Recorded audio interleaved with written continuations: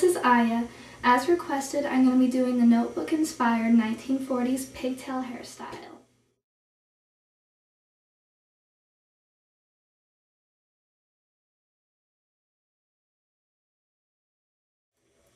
So what you need to do first is do a pretty deep side part.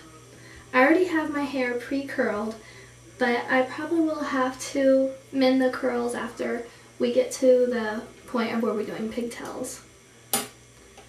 So go ahead and part down the back as well. Do kind of a zigzag from the side part to the center part. And put the ponytail on the smaller section of your hair just to get it out of the way for now. What you're going to do is take the front section of your hair on the biggest side of the part, probably about to your eye right here, and turn it up and then twist it in.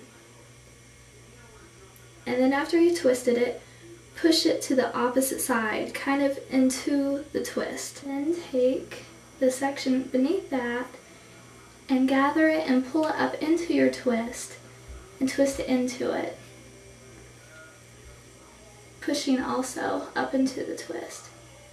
And continue to gather the hair on the side of your head and twisting it into the hair and pushing forward.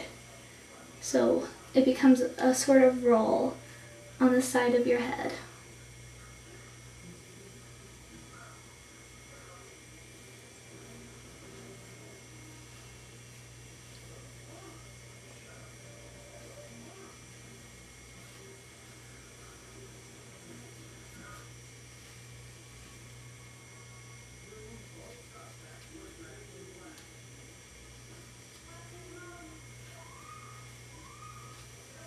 And all the way down to the point where you can tie a pigtail.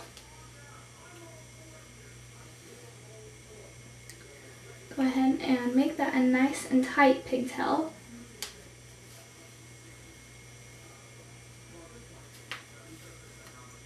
Don't worry if your pigtail isn't very curly at this point. You'll go get back to that in a minute. Take your rat tail and try to put it beneath the top of the roll and gently tug it out.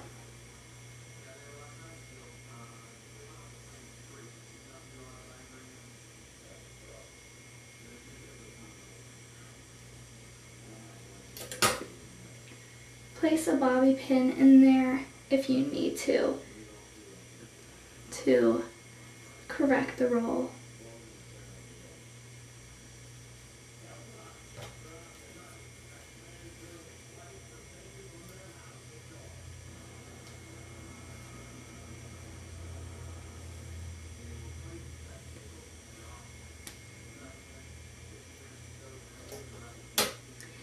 Get to the other side, we're going to do the same thing, just not quite as severe and not as high of a point.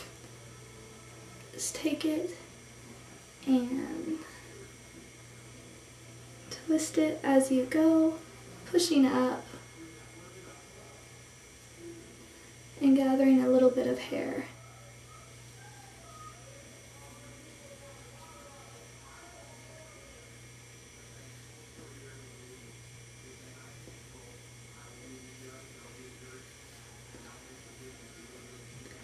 And then tie that one off as well.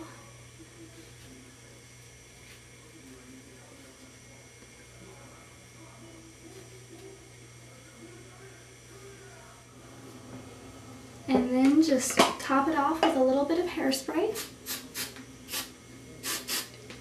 And you are good.